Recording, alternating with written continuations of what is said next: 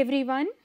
In the previous class, we discussed about the classification of rock mass and I told you that what all are the factors that affect the discontinuities. So, today's class we will learn about the first classification system pertaining to rock masses which is rock mass rating. In short, we call that as RMR. Before I discuss about this classification system, first we will have some idea about the rock mass, intact rock, general discussion and then we will start with the classification system. So, rock mass they are classified on the basis of three factors which are intact rock properties, joint characteristics and the boundary conditions. You know that as far as intact rocks are concerned, their strength and stiffness or modulus they are used in design. How to determine these? We have seen all these things in detail. Coming to the second point that is joint characteristics. We have seen in earlier two classes that what all are the various factors which affect discontinuities and what are those characteristics which define any discontinuity and how these can be determined. So, in the previous class you should recall that we had one table towards the end of the class where I gave you the idea about various methods to determine those characteristics. Third one is the boundary condition which will be different for different structures. As far as intact rocks and its strength is concerned, in rock mass qualification, it is the unconfined compressive strength of the rock which is commonly used as a measure of intact rock's strength. Stability of the jointed rock mass that is significantly influenced by the frictional characteristic along the joint between the adjacent blocks. So, let us say that you have uh, this rock mass and these are some say joint sets which are there. So, the stability of this whole rock mass that would be significantly influenced by the frictional characteristic along these joints, okay, along these joints which are there between the adjacent blocks. We have also seen that the joint surfaces they had two types of um, roughness profile. One was large scale roughness, another was small scale unevenness. So, that also influences its stability. So, joint surface whether it is stepped or undulated and very rough at contact point, they have very high shear strength. As far as filled joints are concerned, it is not the roughness which will be important for such joints, but the aperture width and the characteristic of filling material which will be more important as compared to the rock wall roughness. Coming to the third category which is used mainly for the classification of the rock mass includes boundary conditions. This has in situ stresses within the rock mass and groundwater conditions. So, in situ stresses and groundwater condition they define the boundary conditions for a rock mass. As far as groundwater is concerned, it has adverse effect on the stability. Why? Because when the groundwater is present, that increases the pore water pressure which in result or this results into the reduction of effective stress and therefore the reduction of shear strength. You know that we always uh, represent these strength characteristic with respect to the effective stress and you know that the effective stress is the total stress minus the pore water pressure from your soil mechanics background. So, the same uh, effective stress principle is applicable here. So, the moment this quantity that is the pore water pressure increases, this effective stress it reduces and therefore, you see a reduction in the shear strength. The next question which should come in our mind that what is the need for the classification of the rock mass? Answer is given here in this slide that is there is a wide range of strength values for intact rock cores. So, based upon that we need to classify the rock mass and not based upon only the mineralogical composition. The second aspect includes that there are many parameters describing discontinuities and the rock mass and therefore, we need to consider all those parameters and for that purpose we need to classify the rock mass. Lastly, we need to have the same language when we refer to a specific rock mass. So, until and unless we have some kind of a language. We will not be able to communicate with each other while mentioning or referring about a particular rock mass. So, these are the reasons that one needs to go for the classification of rock mass. Now, the common rock mass classification systems include rock mass rating system. This is also called as RMR system, then rock mass quality system or in short it is called as Q system. And the third one is geological strength index that is GSI. So, today we will learn about the first classification system for the rock mass which is rock mass rating system. This system was initially developed by Bieniawski uh, at CSIR on the basis of his experience in shallow tunnels in sedimentary rocks. Very important. Why this is very important? Because when this system was developed, lot many studies were conducted on shallow tunnels in sedimentary rocks and on basis of those studies only this system was developed. So, if we want to apply this system to other class of rock or to any other structure, when I say we want to apply it to let us say igneous or metamorphic rock or let us say I want to apply it to the dam foundation or slope stability analysis, we need to be very careful as far as the application in those areas are concerned. Because this classification system was developed based upon the experience in shallow tunnels in the sedimentary rocks. So, one of the limitation of this classification system is that is more suitable to this condition.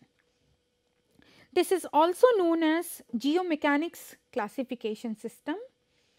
What is done in this case is at any given site we need to divide the whole site into a number of geological structural units in such a manner that each type of rock mass is represented by a separate geological structural unit. Now say that you want to go for the construction of a tunnel and it is the stretch for the tunnel is say few kilometers. So, I have to traverse through that whole stretch in order to identify different geological structural units. Now, how should we do that? We need to have some kind of an exposed surface. We need to carry out lot of visual inspection in terms of color, in terms of joints, in terms of joint sets. Wherever along that stretch there is a change in any of these geological structural uh, units that they are only you have to take that as one unit and then next one you should assign as the other unit. Why we need to do that is so that we do not miss any representative data all along the stretch of the tunnel. There are 6 parameters which are to be determined for each structural unit. So, once we have identified the structural units at the site all along the stretch of the structure, say in this case tunnel, then for each of these structural unit you have to take some of these parameters into account. That is the first one is UCS of the intact rock material, then RQD, joint or discontinuity spacing, condition of the joint, then groundwater condition and the last one is joint orientation. Let us see one by one how to assign the rating to each one of these parameters in order to determine the rock mass rating. What is done in this case or in this classification system is all these 6 parameters they are assigned a rating. So, the RMR is obtained out of these 6 ratings. The first 5 parameter and their ratings they are added and their maximum value of the this addition can go up to 100. So, the rating of first parameters which are added to have the RMR value and this lie between 0 to 100. The last parameter which is the joint orientation, it is an adjustment to RMR considering how favorable or unfavorable the joint orientation are with respect to the project. Now, the value of these adjustments they are negative and vary from 0 to 60. Again they are negative. So, they are varying from 0 to minus 60. This negative is for this adjustment. Different for tunnels, foundations and slopes. The values of the adjustment they are negative and they vary from 0 to minus 60 and these values are different in case of tunnels, foundations and slopes. So, we have the uh, adjustment values different uh, for each of these uh, structures. Coming to the strength of the intact rock that is quantified by UCS or point load strength index. Now you know how to determine these two things that is UCS and point load strength index. Point load test results they are unreliable for UCS less than 25 megapascal uh, for the assignment of any rating to the strength of intact rock. For weaker rocks, point load strength index should not be used for assigning the rating. So, how this should be done? There we have to rely on the value of UCS. Look at this table is given where the first column gives you the idea about the qualitative description. Second one is for the compressive strength. Third column gives the idea about the corresponding point load strength in megapascal and then finally the last column gives you the rating. Now if the UCS value of the intact rock is more than 250, the rock is called as extremely strong and its corresponding value of point load strength will be 8 and the rating which is assigned is 15. Similarly, if you have let us say the compressive strength of 75 megapascal. So, 75 megapascal will lie in this category which is strong and it will have the rating of 7. Now, as I mentioned that in the case of the poor rock or weak rocks, it is the use of UCS which is preferred rather than the point load strength. So, in the last three categories that is weak, very weak and extremely weak, one must rely on these UCS value and should not go for the point load strength.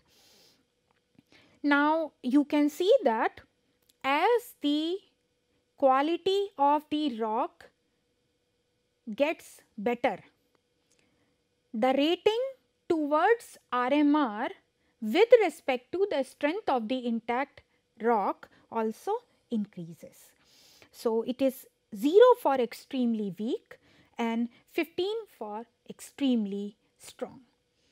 Any compressive strength less than 1 megapascal, many rock materials they would be regarded as soils. So, accordingly you need to assign the rating as 0 for this case. Coming to the next parameter which is the rock quality designation RQD. This is determined from rock cores or volumetric joint count and we have seen in some of the previous classes how to determine these. So, once we know the value of RQD, we can refer to this table in order to assign the rating for RQD in the RMR system. So, when you have the qualitative description of excellent, the corresponding value of RQD is 90 to 100 percent and the rating which is assigned is 20. 70 to 90 percent RQD rating is 17, 50 to 75 13, 25 to 50 is 8 and then if the RQD is less than 25 percent then the rating is 3. So, as it was there in case of the UCS, similarly here in case of RQD, as the quality gets better, the rating will be larger. So, you see it increases in this direction. Next parameter includes spacing of the discontinuities. You know that these discontinuities can be joints, can be bedding planes, foliations, shear zones, minor faults or any other surface of the weakness. How we define the spacing of discontinuities? Uh, that is a linear distance between two adjacent discontinuities that should be measured for all the joint sets. So, let us say at any particular structural unit if there are 3 joint sets, you have to measure the spacing for each of these 3 sets. Based upon the spacing of the discontinuity, the rating is assigned as per this table. For very wide spacing which is more than 2 meter, the rating is 20 and if it is very close that is less than 0.06 meter, it is 5 what do we understand if the spacing of the discontinuity is more? That means that the quality of that rock mass is better. So, that is why you have more rating for wider spaced joints or discontinuities. The question is as I mentioned that let us say that there are 3 joint sets. The question is which one should we take towards the calculation of this RMR? Which one should we consider? In that case, we should see that whichever joint set is unfavorably oriented towards that structure, whether it is tunnel, slope or foundations. So, the most critical oriented joint set or the discontinuity set should be considered towards the calculation of RMR and rating corresponding to that critical joint set should be given while calculating the value of RMR. Spacing of the discontinuities. So, I mentioned to you that when you have the wider joint spacing, lesser will be the deformation within the rock mass and therefore, you have high rating. Say you have the joint sets with spacing of say S1, S2, S3 and so on, let us say n joint sets uh, till Sn. The average spacing can be computed as um, using this expression that is 1 upon S average is equal to 1 upon S1 plus 1 upon S2 and so on up to 1 upon Sn. Hudson and Priest in 1979, they gave a relationship between RQD and uh, mean joint frequency lambda which is per unit length. So, this length here is in meter. So, lambda is defined as number of joints per meter. So, the RQD can be determined using this expression. So, in the absence of any measurement of the joint spacing. Uh, this expression can be used to estimate the joint frequency and therefore the joint spacing. So, you know that you will have the RQD with you and you can use this expression and find out the value of lambda just in case if you do not have any measurement of the joint spacing and this lambda is defined as a number of joints uh, per meter. So, uh, in 1 meter length you know how many number of joints are there. So, therefore, you can divide that 1 meter by these number of joints and that will uh, give you the uh, spacing of the discontinuity. Coming to the next uh, parameter which is the condition of the discontinuity. These include the roughness of discontinuity surfaces, their separation, length of the discontinuity, weathering of wall rock or planes of weakness and the infilling material which can also be called as gauge material. Look at this table carefully and then you will be able to realize that why there are many factors as far as condition of discontinuity is concerned which one needs to keep in mind. See the first column gives the description, second one deals with the joint separation and third one finally assigns the corresponding rating. In case if you have very rough and unweathered wall rock tight and discontinuous and there is no separation means it is here is 0 rating is 30 then rough and slightly weathered. Wall rock separation is not 0 but less than 1 millimeter then the rating reduces which becomes 25.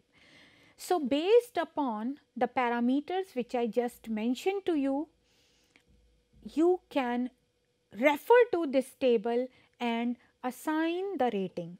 So, take a look here that 5 millimeter thick soft gauge if it is this is the situation then the rating is 0.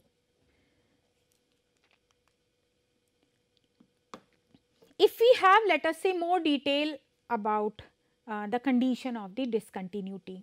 We have persistence, aperture, all these things we discussed in the previous class. So, if we have all those things in detail, then we can refer to this table where you have all these uh, parameters that is discontinuity length which can be uh, also defined as persistence, aperture, roughness, infilling or gauge material and weathering or discontinuity surface. So, accordingly this table gives you some of these parameters in the quantitative manner and accordingly you can assign the rating. So, let us say that the discontinuity length is less than 1 meter it will have the rating of 6. So, the first row is giving you the value of the uh, parameter and second row is giving you the rating. Likewise, it is there for all the uh, rows. So, this is the parameter, this is the rating, parameter and the rating and likewise. So, in case of the infilling when you have hard filling or you have the soft filling accordingly you need to assign the rating. The last parameter towards the calculation of rock mass rating is groundwater condition. For tunnels, it is the rate of inflow of groundwater in liter per minute per 10 meter length of the tunnel. This should be determined or a general condition may be described as it is whether it is completely dry, damp, wet, dripping or flowing. If the actual water pressure data they are available, these can be stated and expressed in terms of ratio of seepage water pressure to major principal stress. General condition of the joint, it can be determined from the drill cores and bore logs in the absence of exploratory adits or pilot tunnels.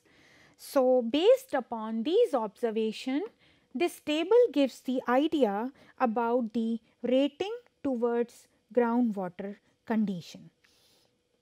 So, you see that if you have inflow per 10 meter length which is in liter per minute and then it can also be represented in terms of ratio of joint water pressure to the major principal stress and this is the general description. So, either of the three you can have the information with you either this one or this one or this one. So, accordingly you assign the rating.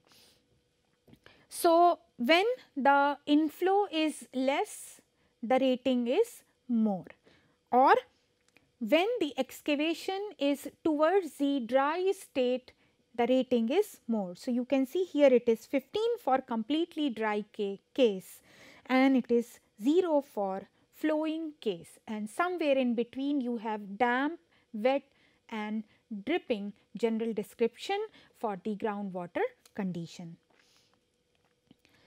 Now, in case if you have the mixed quality rock condition at the excavated rock surface. For example, uh, say there is one exposed area and there you have good quality as well as poor quality which is present. So, in that case it is essential to identify the most critical condition for the assessment of the rock strata. Sometimes it may happen that although the rock material or the intact rock is of very good quality. But then there is an occurrence of say a fault plane.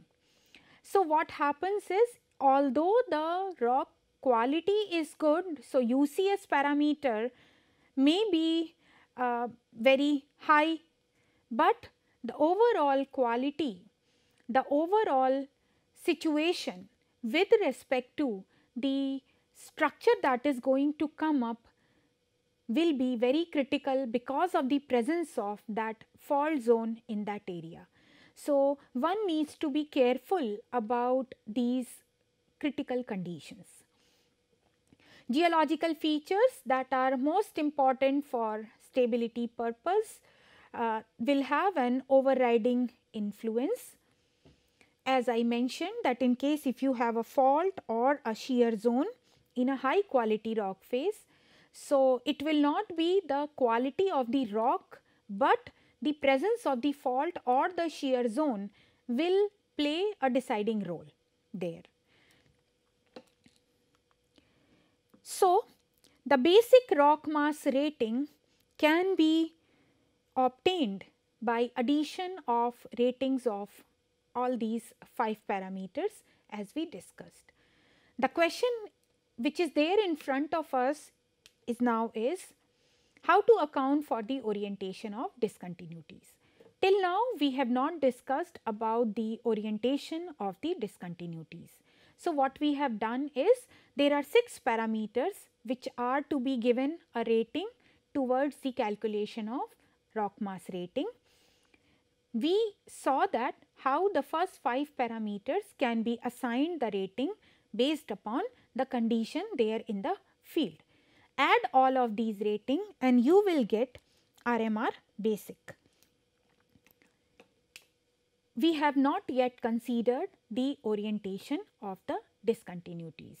So, with this question I finish today's discussion here only and in the next class we will try to find out the answer to this question and then try to see how we can find out the final value of RMR and how we can use this RMR for the application purpose. Thank you very much.